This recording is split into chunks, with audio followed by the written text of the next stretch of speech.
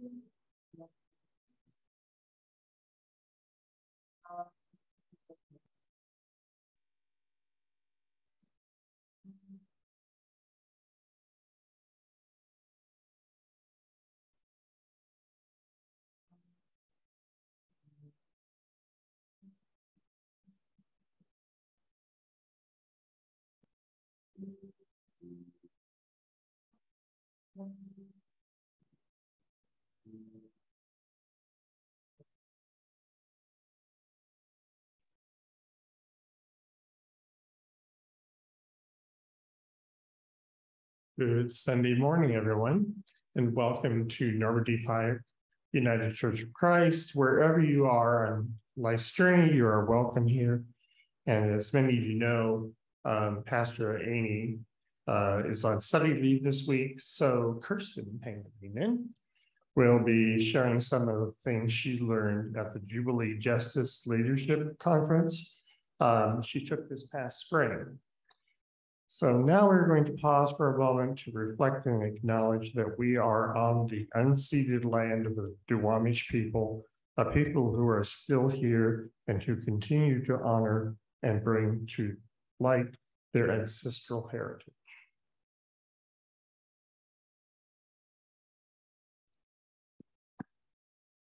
All right, so um, We'll start with our words of gathering. I will read the light, and if you will join me in reading the dark print.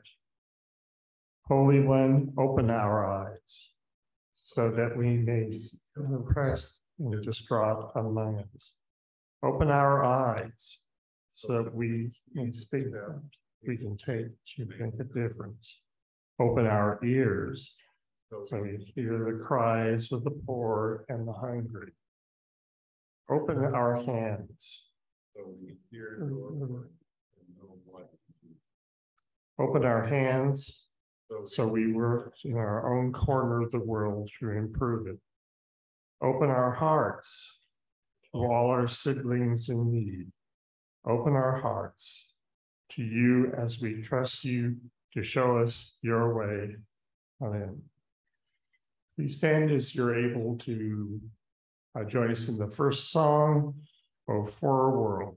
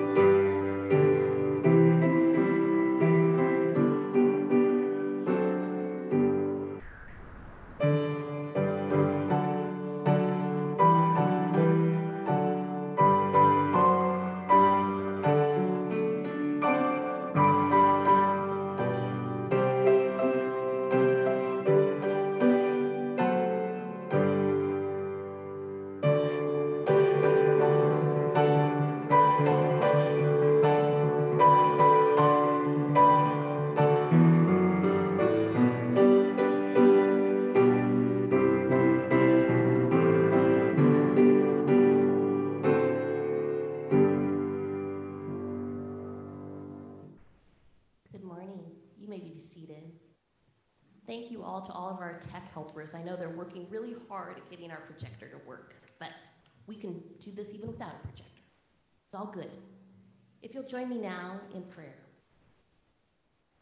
Source of life, who is known by many names, overturner and illuminator of hearts, we gather with gratitude for the earth and all who journey in it.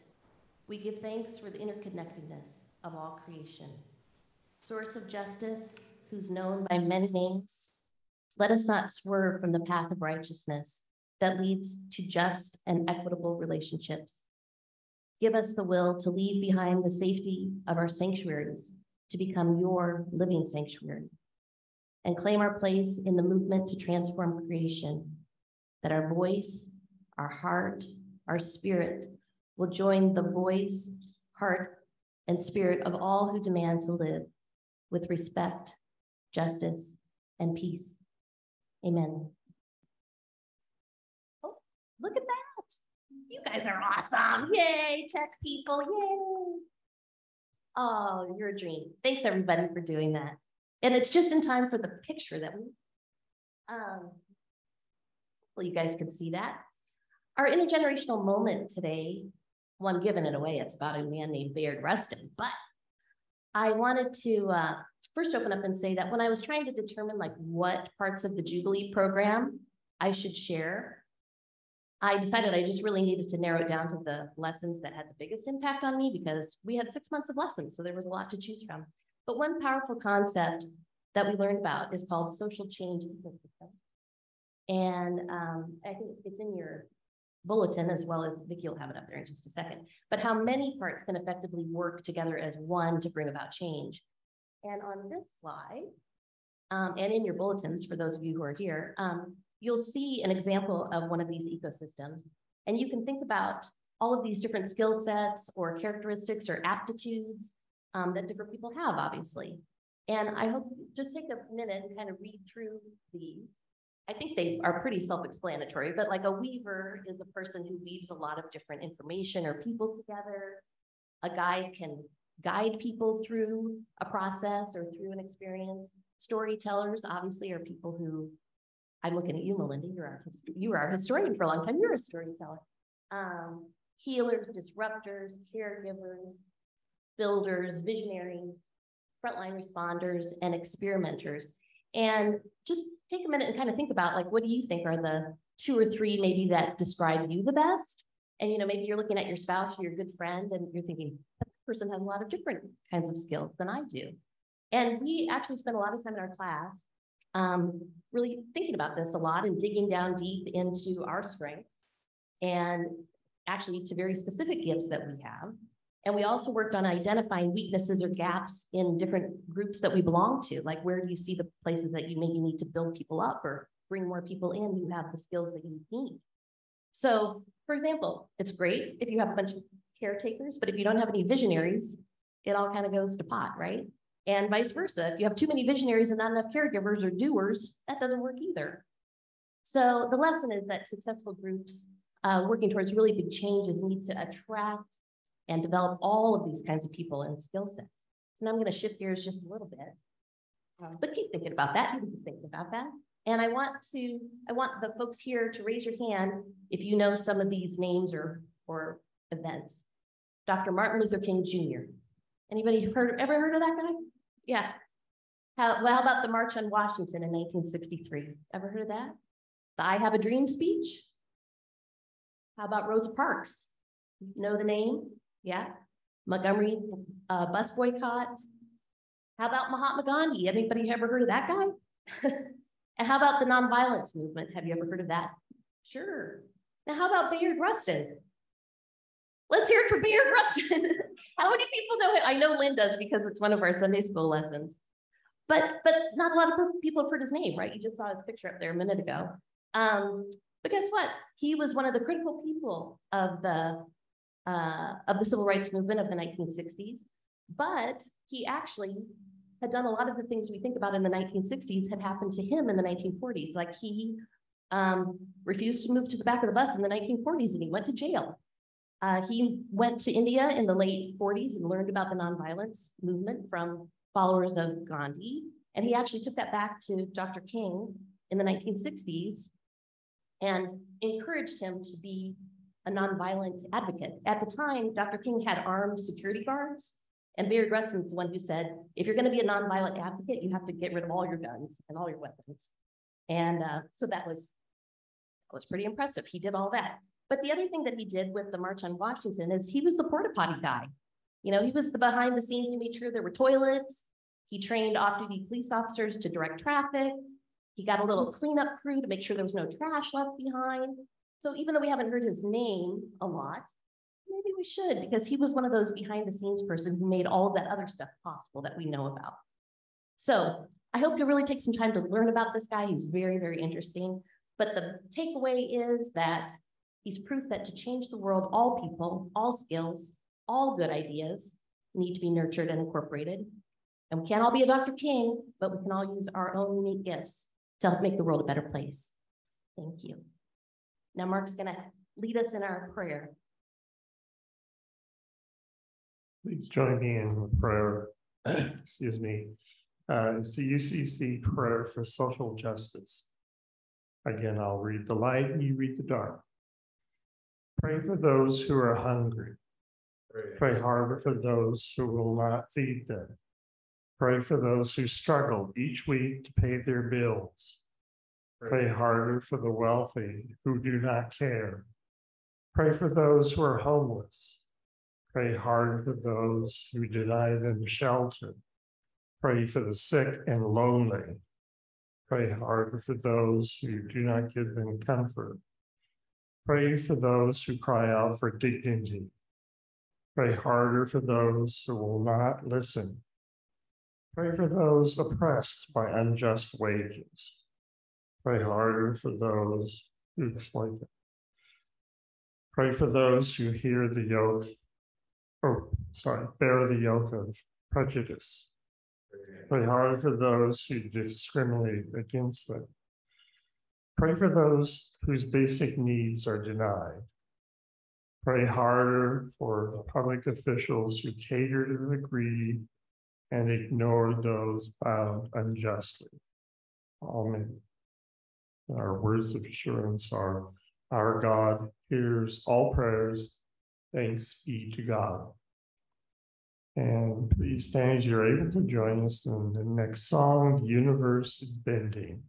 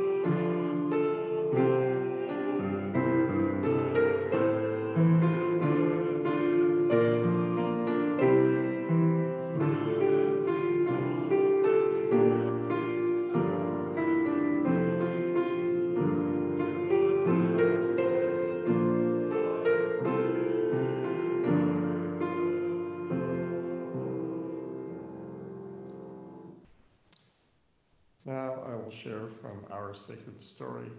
The first will be Deuteronomy 10, 17 through 20, New Revised Standard Version. For the Lord your God is God of gods and Lord of lords, the great God, mighty and awesome, who is not partial and takes no bribe, who executes justice for the orphan and the widow, and who loves the strangers, providing them food and clothing. You shall also love the stranger, for you were strangers in the land of Egypt. You shall fear the Lord your God. Him alone you shall worship. To him you shall hold fast, and by his name you shall swear. Our gospel reading um, is Luke 11 37 through 46 and verses 52 and 54. And before I read um, this passage of scripture, please uh, try to hear this through a social justice lens. Jesus speaking to people who represent established power, not as Jesus versus the Jews. When he finished that talk, a Pharisee asked him to dinner. He entered his house and sat right down at the table. The Pharisee was shocked somewhat offended when he saw that Jesus didn't wash up before the meal. But the master said to him, I know you, Pharisees buff the surface of your cups in place so they sparkle in the sun. But I know your insides are maggot, maggoty with greed and secret evil. Stupid Pharisees. Didn't the one who made the outside also make the inside? Turn both your pockets and your hearts inside out and give generously to the poor. Then your lives will be clean, not just your dishes and your hands.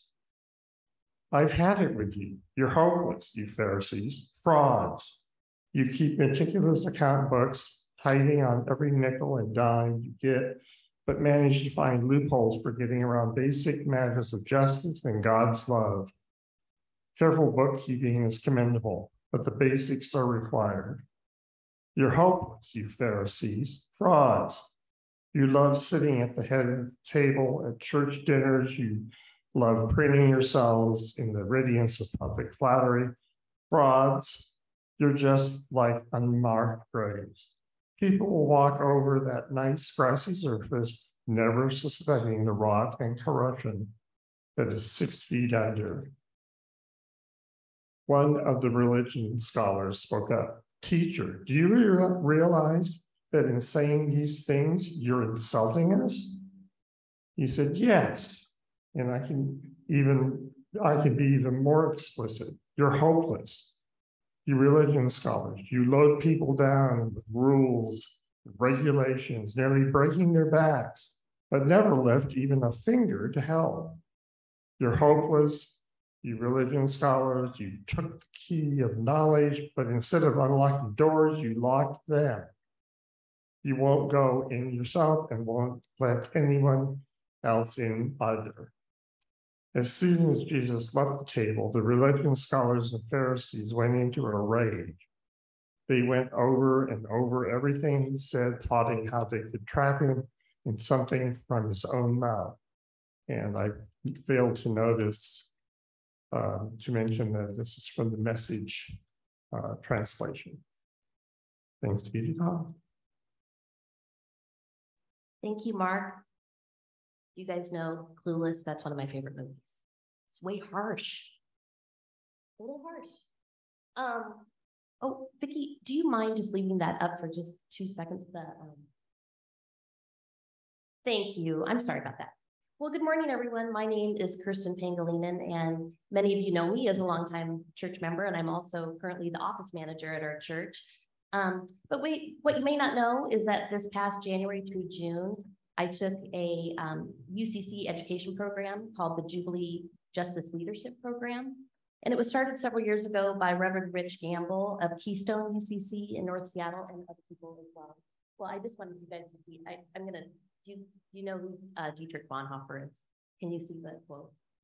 I just want to do this even quote, that's what I'm. Um, uh, so anyway, originally it was a program that was designed for people just coming out of college who are interested in social justice work and they lived in community um, in the Seattle area and they had internships and they um, you know, learned and studied together and shared with one another. But during the pandemic, the program was re-envisioned as an online program that was open to all ages and from all around the country. So actually in our cohort, we had a woman from Texas and this coming fall, they have a person participating from Ethiopia, which is super cool.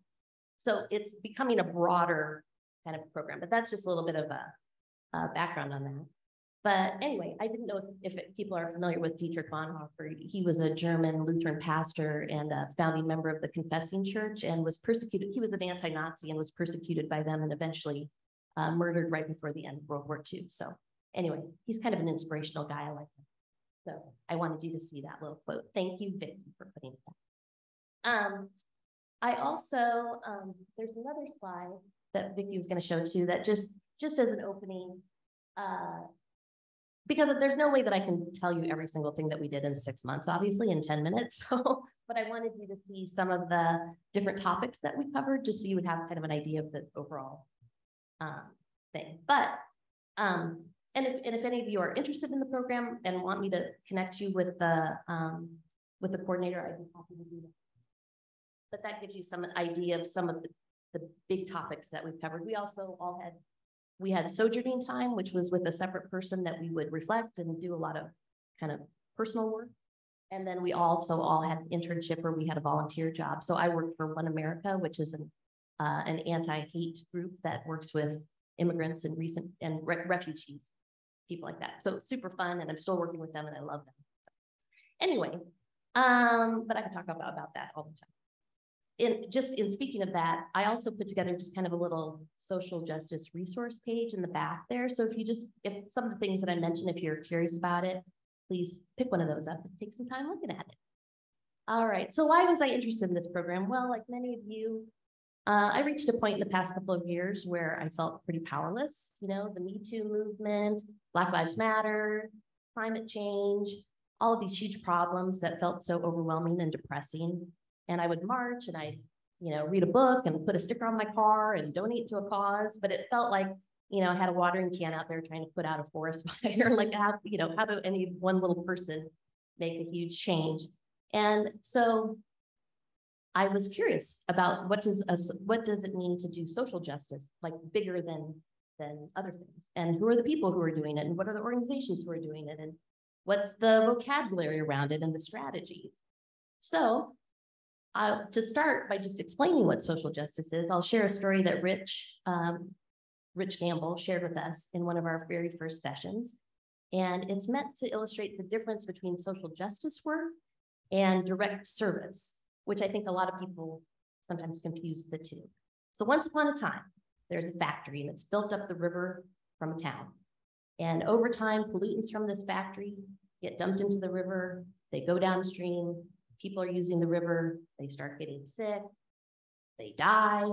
Um, sick people can't work, so they're suddenly in need of food banks, and kids lose their parents and need an orphanage. So the townspeople set all of these services up, and they set up hospitals and orphanages and food banks, and and it's wonderful, right? I mean, all of these actions, or maybe more appropriately, reactions to the situation, those are called direct service. You're directly helping somebody. And direct service isn't easy. And I look around, so many of us, so many of you are very involved in direct service with Hospitality House and Food Bank and Mary's Place. And it's all wonderful. And I'm not at all trying to disparage um, direct service at all. But the advantages of direct service is that number one, it has a direct um, effect, right? Like if you cook a meal and then you feed it to a hungry person and they're satisfied and yay, like you just fed a hungry person, that's awesome and it makes them feel good and it makes you feel good. And that's terrific. It has a tan tangible, meaningful kind of a result. Um, I'm sorry, I lost my place just a moment.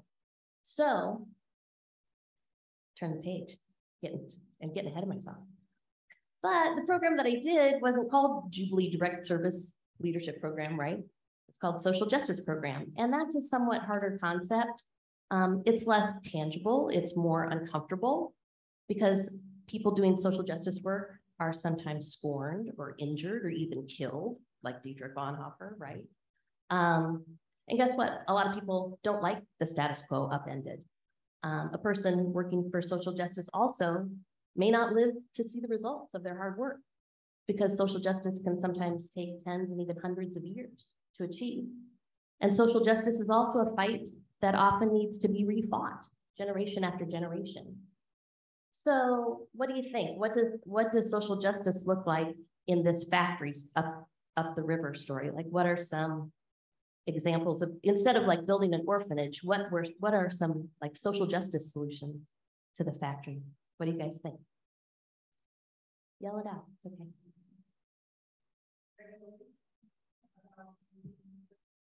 Perfect. Wendon just said regulations about what they can put in the water. That's a perfect example. Fighting for, for let's make sure we have regulations so we don't have junk in our water that we have to drink, right? Other ideas? Cleaning up what they've already done, great. And then preventing it from happening in the future, right? Exactly. Those are those are great examples. Anybody else? I know sometimes people need another minute. But those are great examples. And that's exactly right. Um, social justice is organizing people to vote for people who will put those kinds of regulations into place or who value that, right? Um, they'll pass laws that protect people's health. They'll make it illegal for factories to dump. Um, it's for maybe supporting industries that don't have that after effect of having to put pollutants into the river, right? Maybe you support another factory that doesn't do that kind of thing. Um, but it's taking a public stand and talking at a town council meeting, joining with others, right? It's learning how to be a helpful and respectful ally to people who are maybe already doing some of that work. Maybe you figure out how to join a group that's already doing it. Um, but it also means that, you know, you're gonna probably make some people angry because some people don't want that change. Even people who are maybe being poisoned by that, they're worried. I'm gonna lose my job. You know, they're gonna, that factory, if we make too much of a fuss, they're gonna take these jobs somewhere else. Um, and you're upsetting people who maybe have power and influence, right? So, um, and there, there can be retaliation, right? But really, social justice is the only way to make real lasting change. Um, so direct service is more like a band-aid on systemic inequities, and social justice is harder, but it's more transformative and powerful. So anyway, because the Jubilee Justice Leadership Program was developed by people in the UCC, our first classes were rooted in biblical lessons. Um, and the main start of starting with the Bible, the main point of starting with the Bible was that it gave us a moral foundation to stand on. And Rich wasn't as interested in like pulling out specific quotations or something and saying, um, you know, Moses and Jesus were social justice warriors. That wasn't his point, but it was more to look at kind of the big arc of the story of the Bible um, you know, when we look at thousands of years of history and stories and poems and different voices and perspectives and agendas that are all in the Bible, but there's a big pattern there, right? Like over and over, God and her prophets are challenging the powerful and challenging that passive acceptance of, well, I guess this is just the way things are. So we just have to accept it. Um, and challenging people who want to choose comfort over the truth. So many of the stories in the Bible are about exposing and toppling those oppressive power structures and reminding people that God's ways are not the world's ways, right? So of course, I'm not a biblical scholar, but the reason I wanted to share those two passages that Mark read is that I think they help um, show a couple of ways that social justice is portrayed in the Bible.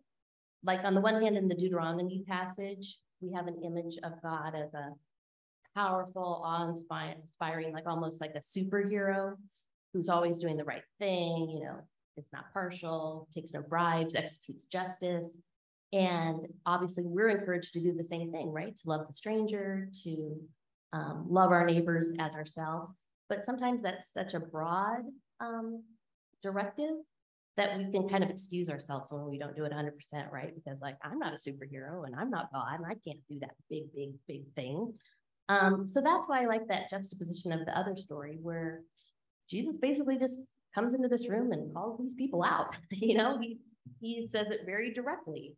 And he says, and it's uncomfortable. And he uses a situation that we can all relate to. He comes into a house, he didn't follow the rules, he didn't wash his hands, um, and they're trying to shame him. And he's like, no way, right? You're just, uh, he accuses them, you're hiding behind all these trivial rules and expectations because you're trying to avoid the things that God is really asking you to do.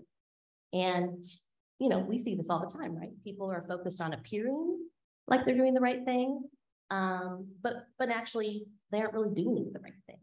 They're so busy making sure that everyone's washing their hands and has sparkling dishes that they aren't addressing the rot underneath it. So, and as a brief aside, I'll just, some of you are aware of this, but you may know that the UCC is working on address, addressing the history of racism and misogyny within our denomination, trying to dig it out, hold it up to the light, put some examination and transparency on, on that. And um, you know what? Different people are having different reactions. Some people are hurt and angry and embarrassed and defensive. Others are glad it's happening, but they don't think it's happening the right way or fast enough. And, but you know, honestly, my feeling is that no matter how imperfect that process is, I'm, I'm really thankful that the UCC is attempting to do that hard work instead of that maggoty rot, which I love that quote. Uh, the UCC is trying to expose it. And I think that's the first step in a long, long road to justice. And that's real world stuff that I think Jesus was referring to, not like superhero kind of stuff. That's really like in the nitty gritty, dirty, hurtful sometimes, but but possible and doable. And it just takes the desire and the will to do it. So this leads me to another takeaway from the Jubilee Justice Leadership Program, and that is the concept of courage. And this wasn't specifically a topic that we addressed, that was addressed specifically, but it came up over and over again because within my cohort, people, um, you know, they're trying to figure out, they want to figure out how to be better champions for social justice, but many of us ex express our fear, right? And lack of courage. It's, it's hard to know how to, and how do you overcome that fear? So for example, like a lot of questions came up like, well, how do you find the courage to stand up for social justice? What if I do it the wrong way? Or what if I try something and it doesn't work? Or what happens if I make people angry because I'm doing this and my friends don't want to talk to me anymore? Or how can I be a good ally and not offend people who, you know, are already doing some of this work? Um, would I be willing to be thrown in jail? What, what if I get hurt physically or mentally or emotionally? And like, really, what am I willing to risk? And some of these same concerns um, may have held you back. I mean, I know it's true for me too. I know when I've gone on marches, my husband's like, "Oh my God, what if there's a shooter?" And you know, and it's a it's a scary thing, right? But um, but here's some of the ideas that we, that we kind of came up with throughout our class. Well, first of all, just being in the class or being in any kind of a community where people are interested in social justice and want to do that kind of work um, is a great place to start because courage builds on courage, right? So um, any step you're making in that direction is a great start. You should pat yourself on the back. And being in community not only, um, you know, builds networks of power, but it's also sustaining as a place of refuge and recharging and regaining our courage when, when it's needed. And as I mentioned before, having a moral framework as a touchstone helps a lot. Um, as a UCC centered group, our foundation was the Bible, obviously, and our belief that God wants to see justice in our world and knowing and believing in that gives can give you a lot of courage. The other thing that sounds maybe sounds a little strange, but we did some work with creativity and music and the arts. Like we looked at clever street art and street sign protest signs, right? And songs and music. And one of the guys in our group um, is an actor and he's part of the Theater of the Oppressed, which some of you may have heard of, but that's using a lot of like acting um, techniques and sort of and working for social change, which was really interesting. Uh, uh, one of the groups that I mentioned on the paper is a group called the Resistance Revival Choir, and one of their taglines is they sing to encourage others in social justice work. And some of their songs are really great on YouTube. So that was another group that we were introduced to. Um, so anyway, I guess my point is it's not all doom and gloom. Like when when uh, you have when you're singing together or laughing together or you know looking at art together, it's it's relaxing and it's fun and it's um, and it makes you realize that there's lots of people out there using their creativity in lots of different ways and it's good to know that you're surrounded by groups of people like that. Knowing we're not alone gives us a lot of courage. So, and as for me, um, learning more about the history of social justice movements and the successful strategies that they employed gave me courage as well. You know that it's worked it works. And a topic that we explored quite a bit was the nonviolence movement and how successful it is. And when we first started talking about this, I, along probably many of you, was a little bit doubtful about that. I was really because you know you see Martin Luther King Jr. was killed and Gandhi was killed and Dietrich Bonhoeffer was killed. But in the but in the big scope of things, nonviolence is actually um, more successful than violent um, attempts to for social change.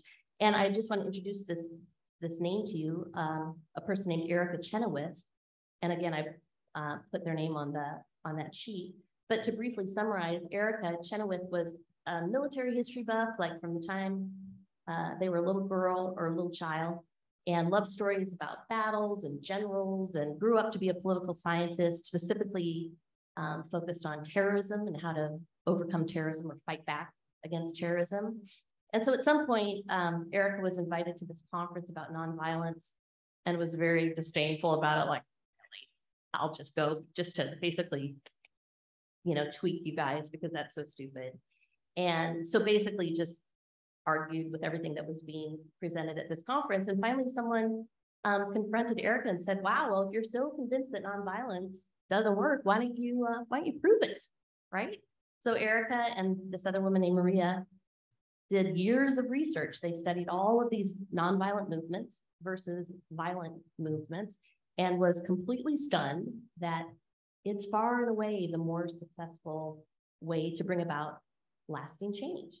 And I mean, you could read her book, obviously, but she also has like little 20 minute videos on YouTube that you could watch just to kind of get a glimpse of some of her research. And it's so interesting and really kind of mind blowing.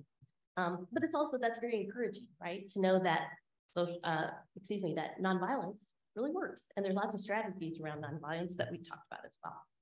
So, um, okay, see, I got ahead of myself again. That's why I love talking to you guys because you're so patient with me. ah, so anyway, all right. So to illustrate some of these ideas of moral foundation and courage and nonviolence that I've just shared with you, I want to tell you the story of Gandhi's Salt March, and I promise I'm, I'm wrapping it up here. Um, so do you guys know about Gandhi's Salt March? Has anyone ever heard about it? Um, well, and you know, I think when we first started talking about it, I think I kind of had a vague recollection, but I didn't know any of the details or even why why there was a salt march. But so to go back a little bit, um, as most of you know, all of you know probably, India was a colony of the British of Great Britain for many, many, many years. And Gandhi and the Indian National Congress were trying to engage with the British to gain their independence and also just to be treated as equal human beings and not as you know, not as basically slaves to the British. And, but basically they were rebuffed constantly. The British didn't want to meet with them, didn't want to talk to them. Um, so in 1930, Gandhi came up with this plan. And a lot of people thought it was ridiculous and silly, and people mocked him and thought it was just, it was going to be a disaster. But spoiler alert, didn't. It wasn't a disaster, it worked. So to get the attention of them and to get them to the negotiating table, he knew he had to get millions of Indians with just as many agendas and personalities and goals and all of that to join together in civil disobedience. So basically, he needed the Indian people to stop participating in the system that was oppressing them and to upend the power structure as it was. And he focused on salt. And so, why salt? Well, because one way that the British Raj kept the people downtrodden is they salt, it was mandated that you had to buy salt from the British government. You could not go collect your own salt or buy it from another source. You had to get it from the British. And um, of course, salt is a basic human necessity like air or water or anything else. And so Gandhi knew that um, even though the poor carried the biggest burden of having to pay, for salt, because of course, out of, you know, it's the same price for everybody. So the poor are going to have out of their budget, it's more for them. Um, but he knew that everyone was still affected by it, right? So uh, there's a book called This is an Uprising by Mark Engler and Paul Engler. And they, they said this was textbook moral injury, right? Everybody is being injured by this, this tax, by this cost. And that's very foundational. And of course, Gandhi wasn't Christian, but his belief that all people should be allowed self-determination and treated equally is rooted in that ubiquitous morality, right? So back to the story, um, Gandhi started with just 70 or so followers, and they began walking towards the sea. It was like a 200 mile journey, right? And as he walked, more and more people joined his group. And even when they would stop for the night, like thousands of people would gather. Like the first night, it was like 3,000. And by the near the end of it, it was like 50,000 people were joining him near the end. Um, and pretty soon, like walkers were behind him miles and miles. and so, and in this growing community, they found courage, right? They found strength. Uh, they sang songs along the way. They prayed together.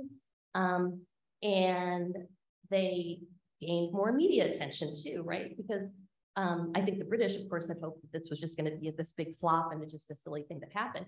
But it's but different news agencies from around the world started picking up the story, and the publicity kind of protected them, right? Because all these people from around the world were following their story. They were captivated by the drama. They're wondering what's going to happen at the end. And so, about 20 some days later, Gandhi and his followers stepped out onto the beach, right? And he reached down, you can just picture it all, right?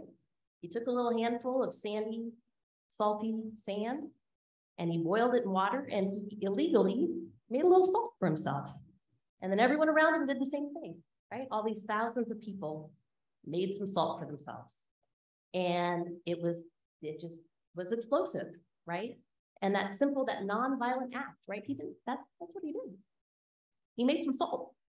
Um, but it, it put into motion for months a whole bunch of other nonviolent uh, protests. So people quit their jobs, they started boycotting British cotton, um, they stopped paying taxes they thought were unfair that had been, you know, deliberately to suppress, pull people down. And basically the Indian people just refused to participate in their own subjugation.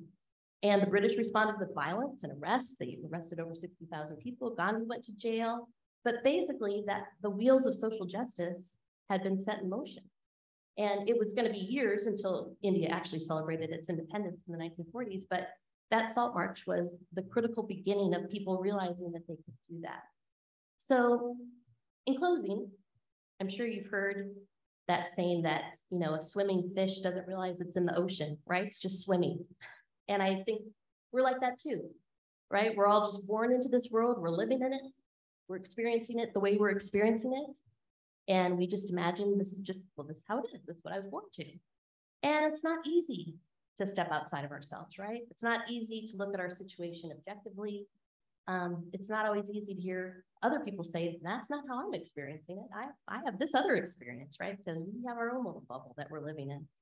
But I think that's what God's asking us to do when we're told to welcome the stranger and to love our neighbors as ourselves when we're told to stop worrying about the external appearances and to really start working on cleaning up the insides of ourselves.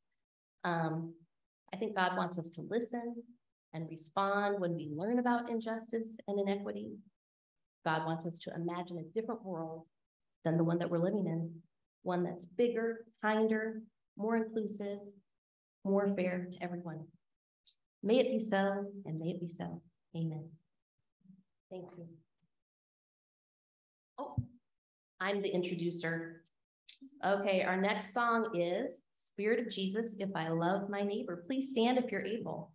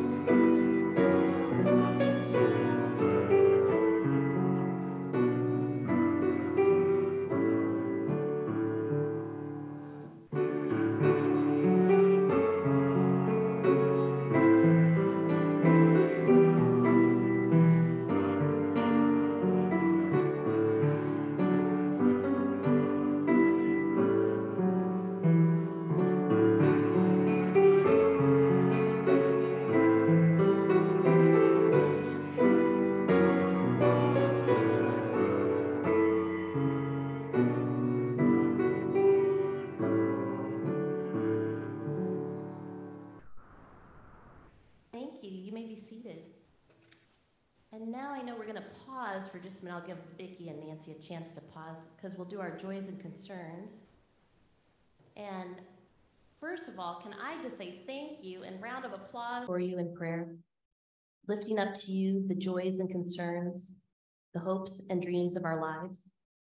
May we be open to your voice in our lives, that we may see with new eyes and hear with new ears the direction you will have us go.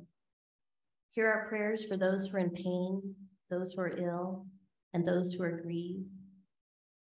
Thank you also for the many joys we experience and share today. May we touch the lives of our loved ones and community members, not only through our prayers, but through our lives and actions as well.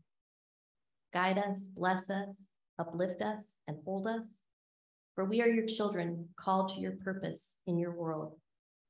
Hear our prayers, those spoken and those hidden in our hearts. We pray in the name of Christ our Lord. And now please join me as we pray the prayer that Jesus taught us. Our Creator, who art in heaven, hallowed be thy name. Thy kingdom come, thy will be done on earth as it is in heaven. Give us this day our daily bread, and forgive us our sins as we forgive those who sin against us. And lead us not into temptation, but deliver us from evil. For thine is the kingdom, and the power, and the glory forever. Amen.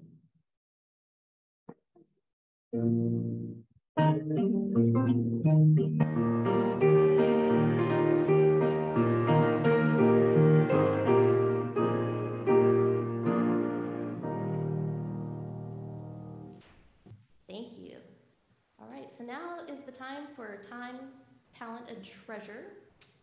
And as we can see up here, we're still in August for a few more days.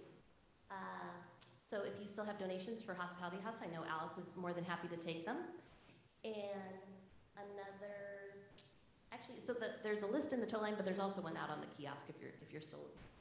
Um, so, and I know uh, just another reminder that the annual meeting is on September 11th, but it's Zoom only, and that's so that everybody's on the same. I think they're trying to figure out if there's a way that maybe if people want to come in person, they can sit like in the library and then I'll raise their hand. But basically, we all need to be able to see everybody in the same spot to be able to vote on things. So, um, but we do, do need a quorum, and I put some proxy forms out there. So if you know for sure that you're not going to be able to be here on Zoom um, on the 11th, if you could find somebody you know will be here, then and make them your proxy to vote. And they can vote on either everything that you're interested in voting on or just select things so you can designate all of that. Um, and before we have other people share too, this is also time, uh, if you want to make a donation to the church, there's a offering plate in the back, or there's certainly many, many ways on our website that you can give, or you can mail in a check. And obviously, we so appreciate all of your gifts um, in all the ways that so many of you give, in so, so many ways. So thank you. But how about other things? Lynn, you, I, I knew you're gonna, okay. You wanna just come up here? You want me to move? Okay. Oh,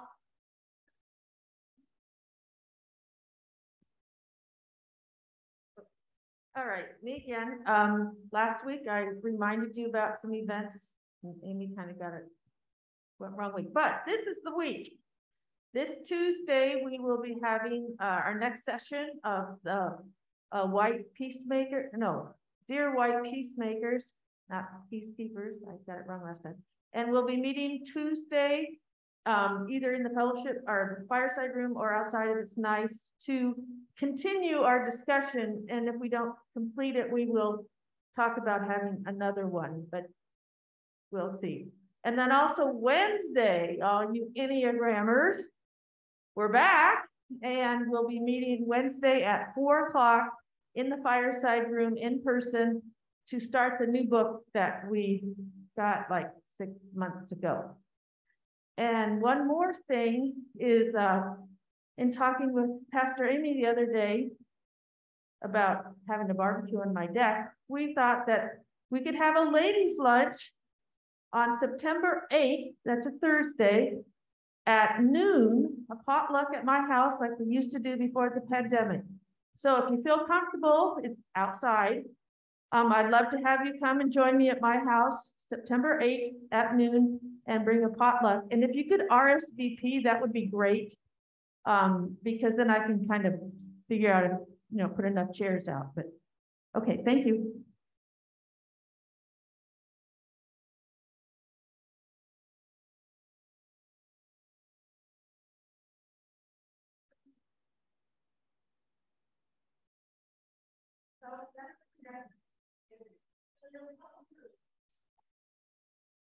That's the projector that's been there since it was donated a long time ago. You probably didn't notice it because we were, Bob and I were dealing with it, so.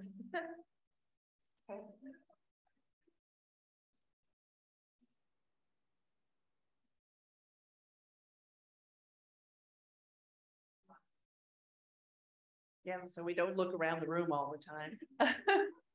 I just wanted to give everybody a fair warning that we are gonna do the rummage sale this year. October second, Sunday, we are gonna bring up the massive amount of stuff from the garage up into the fellowship hall, and there's still stuff in the closet. So we'll need all hands on deck, anybody that can lift, invite your neighbors and friends. There's a lot of stuff in that garage. And this is gonna be our last rummage sale. So what we don't sell, we will um donate. So just keep that in mind. The sale is that whole week. So we'll need people to volunteer the whole week to help set up. Lisa and um her husband will be here on the Sunday. And Bill will have his truck, which we kind of can load and bring around like we often do. Yes? No, the second is the day we start bringing the rummage up. The sale is that Friday, um, Saturday. Friday, Saturday. Yeah, yeah, but the, all the bringing up the rummage is on the second.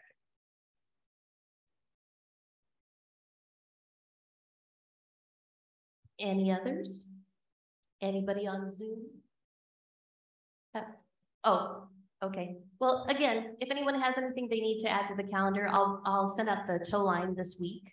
Oh, and the other, I guess I should say, just in terms of my office hours, um, Lucas starts high school this week and Patty Murray, because it's a, it's a fairly new high school, is coming to do a tour. So now I'm the PTSA vice president. How did I end up being that? But, uh, so I have to help with that on the thirty-first. So my hours, my office hours on the thirty-first are gonna be from noon to five instead of, so I'll, I'll still be here, but just, I'm doing the afternoon. But, so it just gets a little dicey with everybody starting school. I know Amy has a couple things she's gotta do with her kid too, so. Just call ahead if you're wondering. if All right, anything else?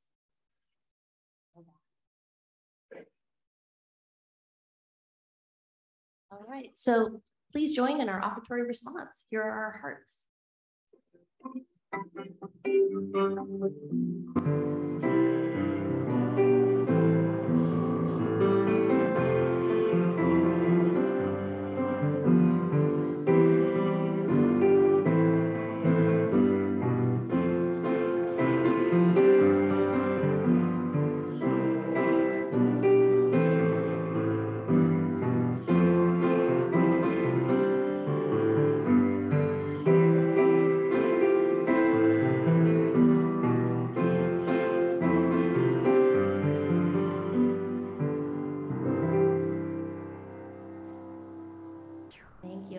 Because uh, we don't have the little special mic, Mark and I are going to do the blessing from our various uh, lectern and pulpit. Okay, so go forth into the world in peace. Be of good courage. Hold fast that which is good. Strengthen the faint-hearted. Support the weak. Help the afflicted. Show love to everyone. Love and serve the Lord. Amen. Amen. And now our last song is I Am the Light of the World.